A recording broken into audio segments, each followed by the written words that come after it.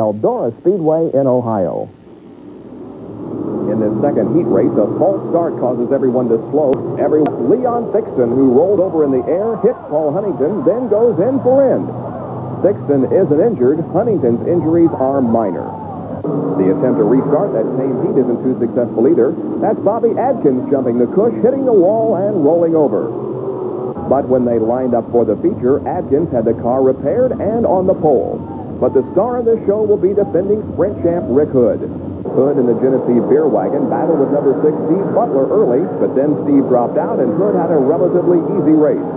But the flipping isn't over yet. Andy Stapp spins in front of Hood. Bobby Kinser's involved. Then Warren Mockler hit Kinser enough to put Warren on his head, then into a ball of fire, but no injury. Hood, who himself flipped during a World of Outlaws show at Bloomington, Indiana last week, took command on the restart and watched in his rearview mirrors as Jack Hewitt and Tom Bigelow tried to decide second. Jack, who has finished third in this race the past three years, moves up a spot this year. You know, if you care, reproducing the spectacular flips in sprint car racing is not as automatic as it might seem at first glance, being careful not to glorify the wrecks in racing. Sprint car racing is excellent racing, but the high flying is indeed an accepted part of it. The World of Outlaws had quite a weekend at Knoxville. Uh, fasten your seatbelt. Heat 2, Saturday night, Denny Smith and Guy Forbrook get too close, and Forbrook has a memorable night. And Jim Grafton and Bruce Drott tangle with Drott going over. It's not over for Des Moines Grafton in the B main. It's his turn over. Then at the very next restart, hometowner Mike Brooks excavates some dirt. A couple of second-generation drivers, Robbie Unser performed some sculpture work on the wall before Ricky Weld flamed out. And later, when Bobby Davis Jr. and Dave Blaney hooked up, this is how Blaney ended up. Sammy, What's New Swindell, won. Kinser and Swindell tagged each other before Sunday's feature flagged off. Forced Steve to pit, and he had to come from last to get sixth. The weekend's worst crash occurred two laps into this main event. Ron Shuman hit the wall, setting off an eight-car holocaust. Danny Smith crawled from beneath the biggest wreckage, and Dave Dwyer actually repaired this and finished the race. Sammy Swindell had to dispose of gambler man Brad Doty and hold off brother Jeff, but he won for the fourth time this year. The Pocono three-quarter mile oval had Johnny Parsons in the white number 71. He'll lead the first four laps. Bob Ciccone in the red number 59 will lead the next five.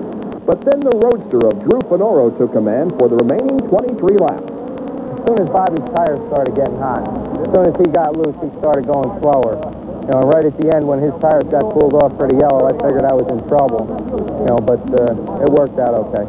The win was worth three grand to Drew, whose brother Nick Jr. is still recuperating from injuries in a sprint car flip earlier this month. The World of Outlaws has announced that races will no longer be stopped for changing tires. Events, of course, will be halted for serious accidents or lengthy yellows, and teams can change tires during those reds. The All-Star Circuit of Champions sprint race at Williams Grove went to Jim Nance. He's the first double winner of the year at the Grove. He defeated Maynard Jinks and Johnny Mackison Jr. Now here's this week's trivia question. Driven is the only crew chief to win a USAC sprint car race, Johnny Capels. He's involved with Rich Vogler's in the effort this year, and Rich, last week, his usual haunt, a sprint car. Whenever he attends an open wheel race, chances are pretty good he'll have a decent day. Our chief videographer, Greg Oldham, took a calculated risk, spent some extra time with Rich, and sure enough, turned out to be another winning day. Today's best, there, Noki Fornoro, back after his Eldora injuries. Sheldon Kinser, the very proficient Rick Hood, Warren Mockler, who rolled last week, Larry Rice, and Tom Bigelow, who flew up from Talladega, where he had practiced in an ARCA car. The track, inordinately dry, so much so hot laps stopped for watering. Then a ruddy track where Vogler had to survive this, tangle with Sheldon. Then along came Rick Hood, and it's a double dipper. No injuries and one more win for Rick. Another weekend USAC highlight, this Charlie Schwartz flip. He came back to make the feature in this very same car. Meanwhile, Steve Kinser won two All-Star Sprint features in the Midwest. The weekly sprint car winner's purse at Williams Grove is up to $2,400.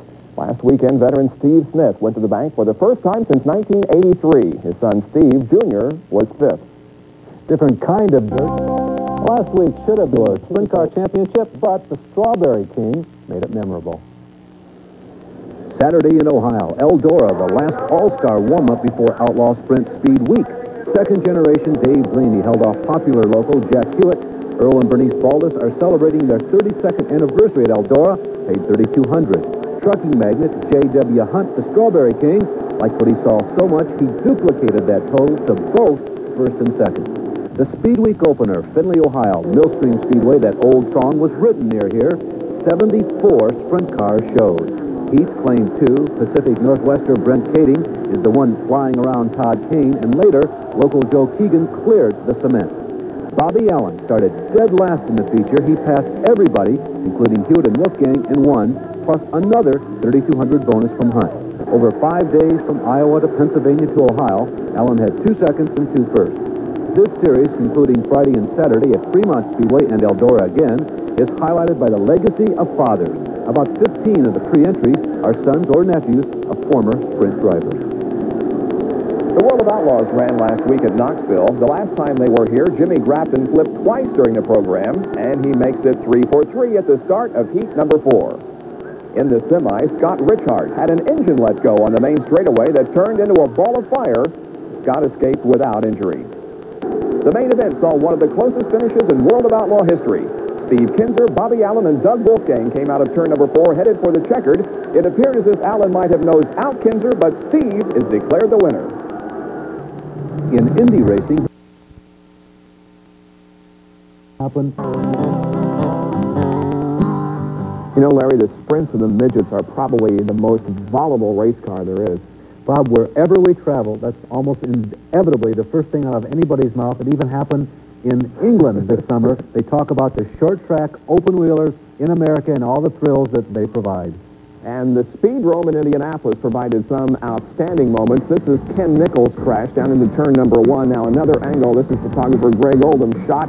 Look how close the car comes to our photographer. But he stays right in there, and Ken Nichols also not injured. Now, here's a situation where obviously discretion becomes the better part of valor when one driver finds that the other driver is larger than size once appearing into the cockpit. Obviously, Ascot Park in suburban Los Angeles, California, Gardena to be exact. Relatively gentle rollover. Not this, though. This is at Syracuse, New York, during a modified race. And another really hard hit coming up right here in turn number one. A car that helplessly is nailed head on by another. No